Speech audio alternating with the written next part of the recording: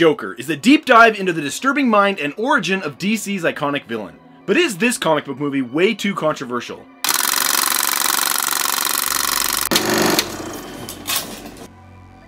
Joker is the latest feature film based on a DC Comics character and comes from Todd Phillips, the director of the Hangover trilogy. Joaquin Phoenix stars as the Joker and is joined by Zazie Beetz and Robert De Niro. In this movie, we follow Arthur Fleck, a broken man with a fractured past who's struggling to find his way through the tough streets of Gotham City. Suddenly, one bad decision ignites a chain of events that will forever change him and Gotham City. Now, I have to admit, at first I was pretty skeptical about this movie. I never doubted that Phoenix would be great as the Joker, but I was pretty worried about the abilities of director Todd Phillips, and to me the film looked like they just took a performance-driven storyline and slapped a comic book sticker on it. But not only did the story more than suit the character, Todd Phillips gives us one unsettling yet very well made film.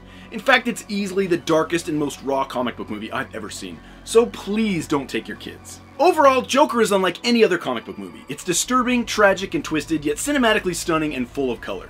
Phoenix has never been better, but this movie's not for everyone. Some folks are gonna love this while others are gonna be completely appalled by it. But even though it's a little tough to watch, there's no denying it's one of the best films of the year. And that's why I give Joker a 5.